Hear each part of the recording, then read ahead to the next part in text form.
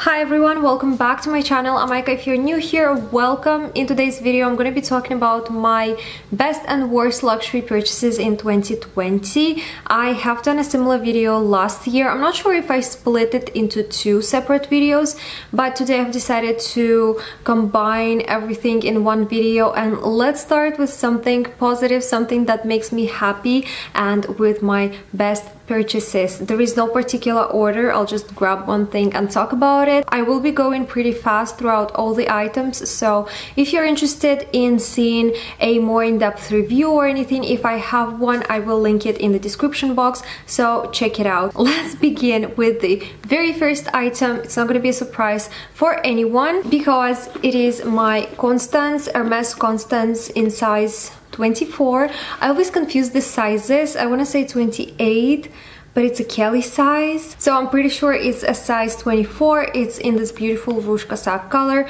with gold hardware. I keep saying this over and over again but this color combination is one of the most beautiful ones for me so I was very lucky uh, to have gotten this bag. This was my absolute dream bag. It's my holy grail bag right now so I'm very happy I have it in my collection. Let's actually separate this video brand by brand. So we've started with Hermes and let's move on to Dior. Have a few pieces from Dior that I have been just loving this year. The next best purchase of 2020 is for sure my Dior 30 Montaigne handbag in this beautiful burgundy color. I think everyone has this bag, like a lot of people have this bag in a blue oblique color. That's why I love that I have this burgundy one and I feel like it's been discontinued because I never see it online anymore on the website. I think it's a more unique color. It goes really well with my pinks and blacks and browns. I especially love wearing it during the winter. The next item from Dior that made it to the best list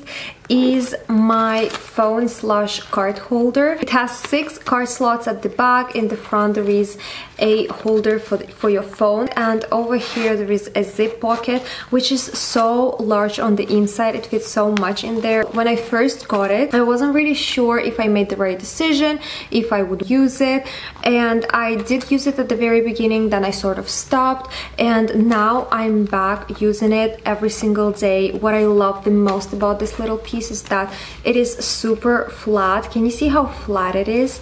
Even compared to the iPhone, I think it is a lot slimmer than the iPhone and usually when you get a full-size wallet it is pretty it's pretty thick, it takes up a lot of space in your handbags, but I can carry this one in my 30 Montaigne bag and it doesn't take that much space, although it is pretty small on the inside. The next item that I have on my best purchases are these boots.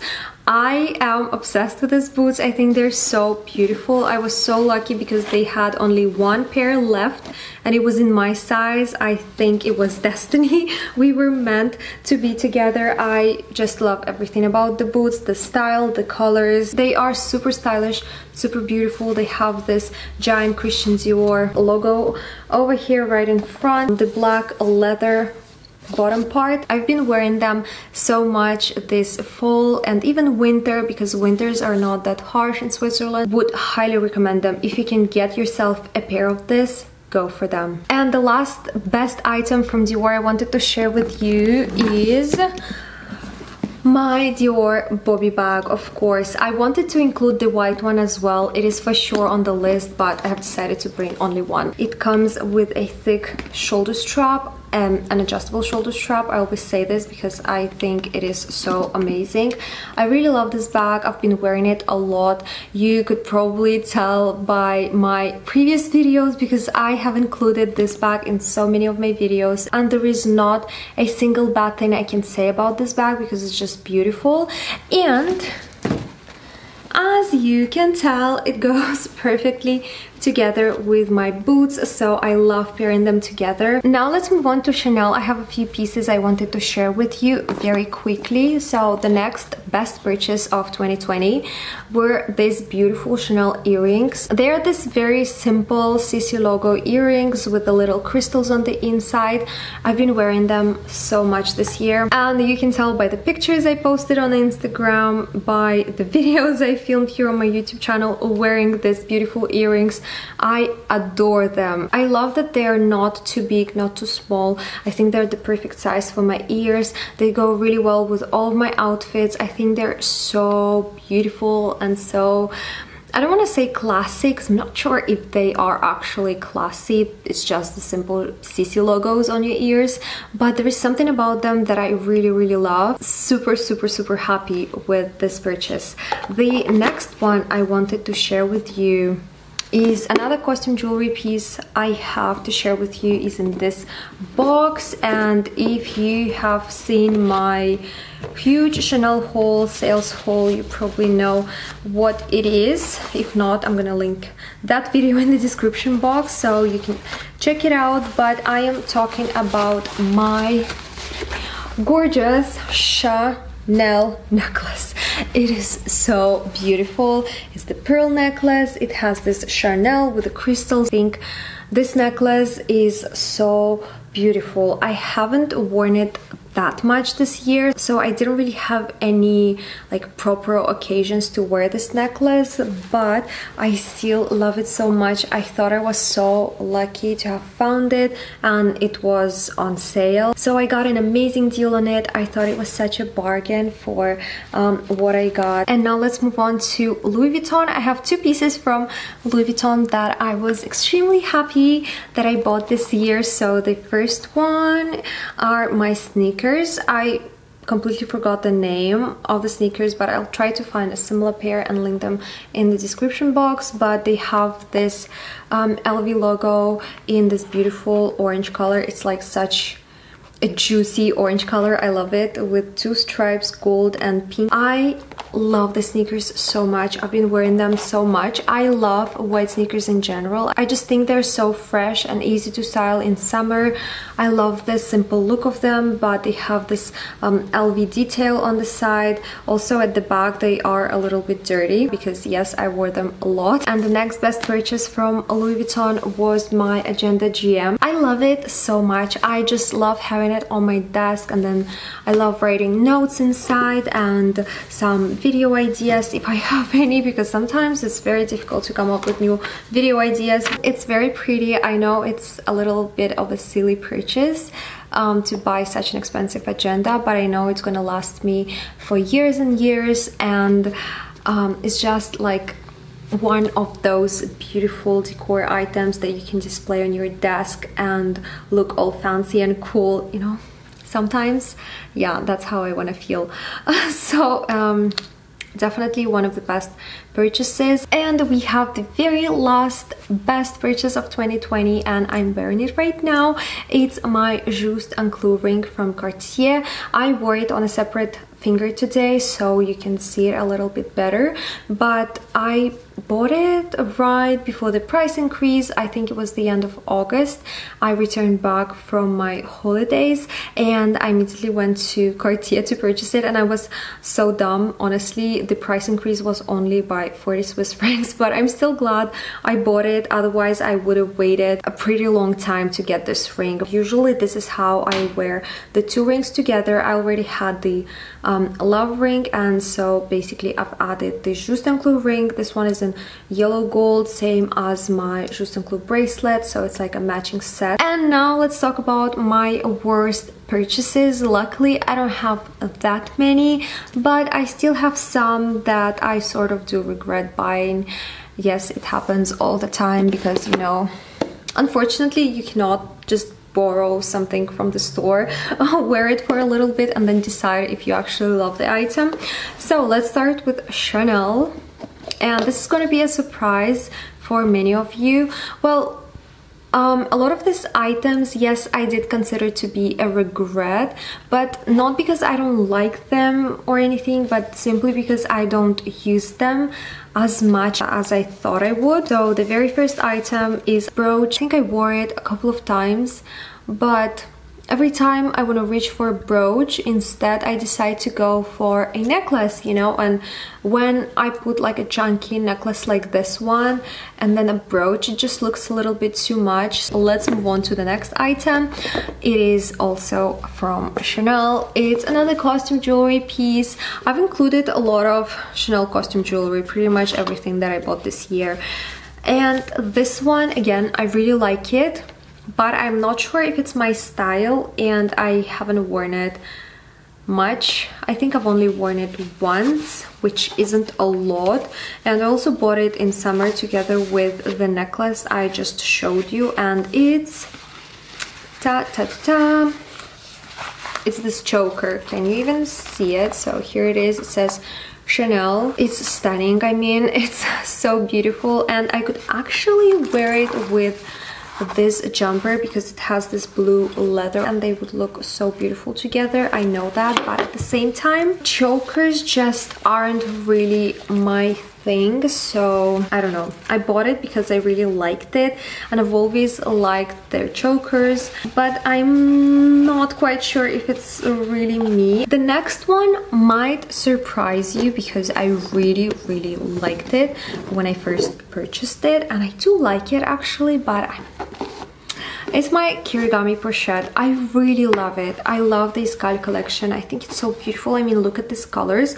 I'm not sure if my camera will show you the actual colors of this pouch but then we've got another cute pouch in this beautiful blue color and then we've got another little pouch over here which is like pink and red and it just makes me so happy because it's so tiny and the colors are beautiful and I think with my Constance bag these two together so adorable I just haven't used it that much. I don't really know when and how to use them. This I do understand. It's like for coins and cards. Then we've got this size um, which is a weird size because it's similar to the mini pochette but it doesn't fit as much as mini pochette and then same thing goes for the large one I mean it looks big but it doesn't fit as much. I don't want to sell it because I really like it. I think it's a very special collection. Maybe sometime in the future I will find a purpose for this three mini pochettes for now, I just have them sitting in my closet. I think they're beautiful and it's such a shame that they are in my worst purchases list. The next two items I have on my list, I don't have with me anymore because I've sold them. The first one was the Louis Vuitton sac Plat in size nano. I really like that bag. I thought it was super cute and adorable and uh, it was just cute and adorable. it was so useless. I didn't know how to use it. I used it once, so I have decided to let it go and I sold it to a very nice girl. She's from Geneva. She's not a subscriber of mine or anything. I was very happy that I found someone who actually likes the bag and who will actually use the bag. So no regrets there. And the next one that I sold as well, you probably know it was my Louis Vuitton multi pochette with the pink strap. So let me go back to the beginning. When it was just released, I was obsessed with this bag. I really wanted it, but it was impossible to find it. It was just completely sold out.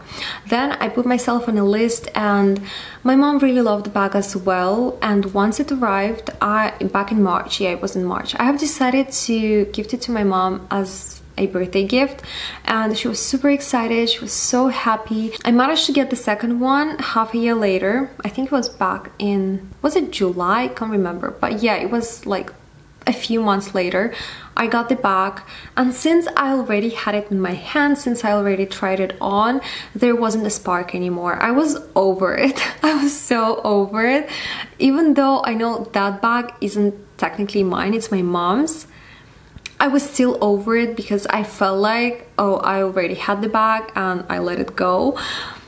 Just, I know it doesn't make sense. The most important thing is that I wasn't in love with the handbag anymore. And last but not least, a worst uh, it is probably the worst purchase of this year.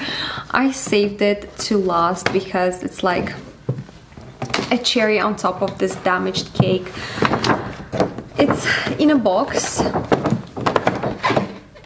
in a Bottega box. It's my Bottega lug boots. I really loved them. I thought they were so cool and so trendy and so beautiful and I was so excited to have them. But then um, the very first time I wore them in the evening I saw this stain right in the middle of the shoe and I didn't know what that was because I've only worn them for two hours it was the first day so I brought them back to Bottega expecting them to exchange them or refund me or send them to repair they did send them to repair it took two freaking months to get them back two months and guess what they haven't done anything to them. Nothing. Absolutely nothing. The stain is still here.